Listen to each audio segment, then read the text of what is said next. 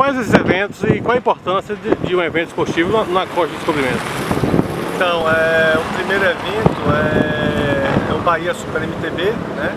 Mountain Bike, a maratona de mountain bike, que vamos realizar aqui no dia 19 de, de novembro. Né? E o Audax, é, o ciclismo também, que é o Audax 200 km, que vai acontecer no dia 11 de março de 2018. São eventos é, com a importância de trazer vários ciclistas aí, né, do, de todo o Brasil é, e fomentar o turismo aqui da cidade. Luiz, esses dois eventos pretendem trazer quantos atletas para a região? Então, ambos é, em torno aí de 200 cada um, 200 atletas cada um.